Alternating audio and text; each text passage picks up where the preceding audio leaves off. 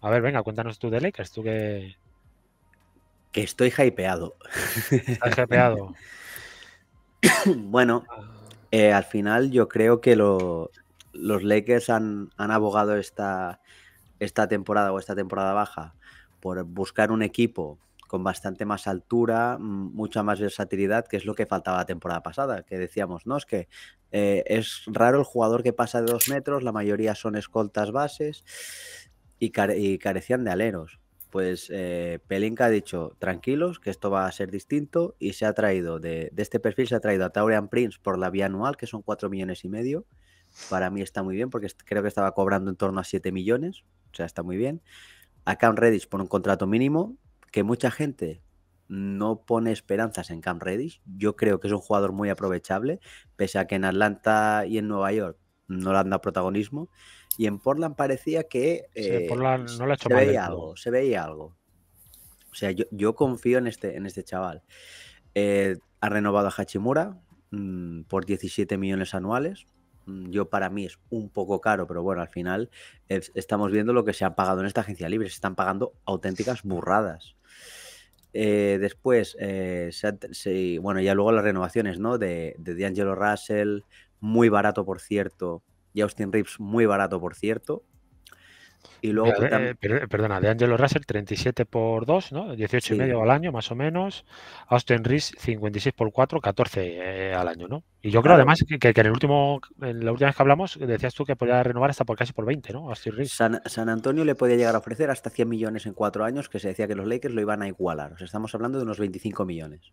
Por suerte, no, nadie, no sé por qué, no han querido pujar ya no por el hecho de quedarse con el jugador, sino por el hecho de fastidiar económicamente a los Lakers. ¿Vale? Y luego, pues también han firmado a Gabe Vincent, que para mí ha sido el sorpresón de Pelinka.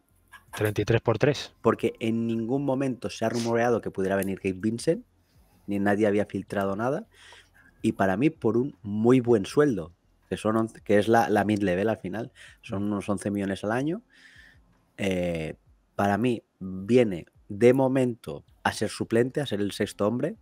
Yo creo que va a mantener el cinco titular de la temporada pasada, que es Russell, Reeves, Vanderbilt, LeBron y Davis. Yo creo que de ahí no lo vas a mover. Pero para mí es muy buena incorporación. Eh, para mí ha sido, junto a Butler, el mejor jugador de la final de, de Miami. Y luego, pues también se ha traído para, obviamente, porque el equipo se está quedando un poco cojo de interiores, te has traído a Jackson Hayes, que se ha quedado libre en Pelicans y ha firmado también por un, por un mínimo. Sí, por un mínimo. Que es un jugador pues, de las características que, hace tiempo que estamos pidiendo que necesitan los Lakers. Muy atlético, ¿no? Que no necesita la pelota, un jugador muy atlético, eh, que intimida, pero veremos mm, mentalmente cómo está, porque también eh, tiene problemas con la justicia. Eh, en Pelicans parece que no acaba de encajar bien en el vestuario. ¿Este, ¿Este es el que pegaba a la mujer? Sí, sí. Otra joyita, ¿eh? Sí, claro, es que es, es eso, ¿sabes? Son igual a lo Miles Bridges, ¿sabes? No. Pero bueno, eh, yo estoy muy contento.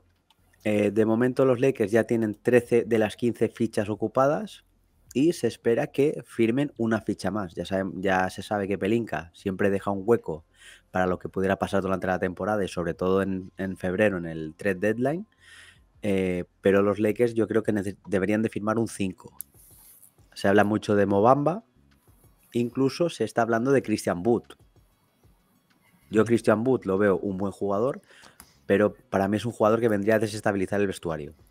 Sí, sí, tiene mala cabeza, ¿eh? que te, lo puede decir Manu. ¿eh? sí, sí, no, si es que, si es que por eso. Yo, conozco la opinión de Manu respecto a, a Wood. Y yo lo veo un buen jugador. Tampoco creo que vaya a firmar por un mínimo, porque es lo único que le pueden ofrecer los Lakers, pero también me extraña que aún no tenga equipo. O sea, yo creo que el tema del vestuario es, está ahí, es lo que más eh, le perjudica a él, digamos. Y yo mi apuesta personal es que los Lakers van a repescar a Mobamba, porque tiene sus derechos ver y le pueden firmar por un mínimo sin, sin problemas. Mucha gente está hablando de Malik Beasley, que le pueden dar hasta 8 millones, también por los derechos ver, y que luego lo traspasen. Es la, opción menos viable. O sea, los Lakers para mí en general lo han hecho muy bien pero sigue faltando aún ese jugador interior de rotación porque mm, obviamente tú puedes tener muy buen equipo, pero la salud de Davis siempre es una incógnita. Sí. Eh, ¿te, acuerdas hace, seis meses cómo hablabas de Pelinka, Chris? Bueno, no, en vez de seis meses vamos cuatro meses, que fue cuando trajo a Vanderbilt y compañía. Pero sí que es cierto que realmente eh, tuvo la cagada enorme de hacerle caso a LeBron y a Davis. Oye, a DeRozan y a Buddy Hill déjalos por ahí que, que, queremos a Westbrook. Esa fue la mayor cagada que ha hecho Pelinka.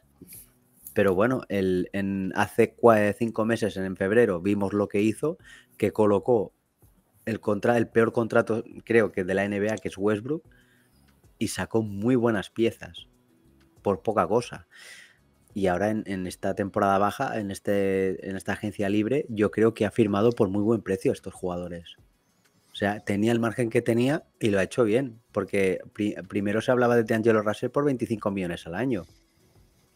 Eh, Gabe Vincent, después de las finales con Miami, mm, yo no contaba que firmara solo por 11 millones. Por 11 millones. Maxi Struz ha ido a Cleveland cobrando 16.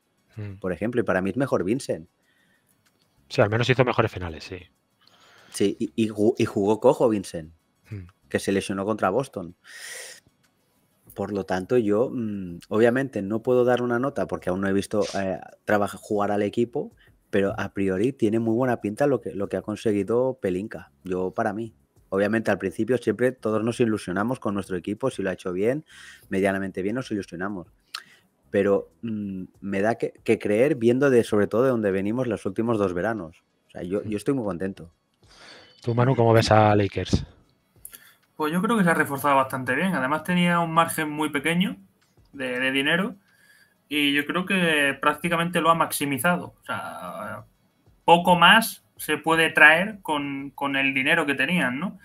El tema renovaciones, muy bien. O sea, Hachimura es verdad que son 17, pero es lo que se comenta. O sea, es que a mí, bueno, mi franquicia, por ejemplo, el mismo Poetel, son 20 millones. Tenemos contratos como los de Pool, los de Heroes, que son contratos carísimos. Se están firmando contratos muy caros. O sea que, sinceramente, si Hachimura sigue jugando los playoffs de esa manera, los vale. Rips, baratísimo. E incluso mirando a futuro, es un contrato que el día si se va LeBron, pues puedes traer una estrella junto a él. Y en definitiva creo que se han movido bastante bien. O sea, muy poquito margen de dinero, han traído lo máximo que han podido. Es verdad que, bueno, cuando tienes buen equipo, pues también es fácil, más, más fácil atraer a gente libre, pero eso no quita el buen trabajo de Pelinka, que lleva ya dos, eh, digamos, dos fechas importantes, ¿no? Las dos últimas fechas importantes de movimiento de mercado, bastante bien. Porque el año pasado nadie, nadie daba un duro por Lakers a mitad de temporada y ahí estuvieron dando guerra. Es verdad que, bueno, contra Nuggets eh, se fueron barridos, pero es que Nuggets el año pasado era. Esta temporada ha sido increíble, o sea, eso no había cómo pararlos en ataque.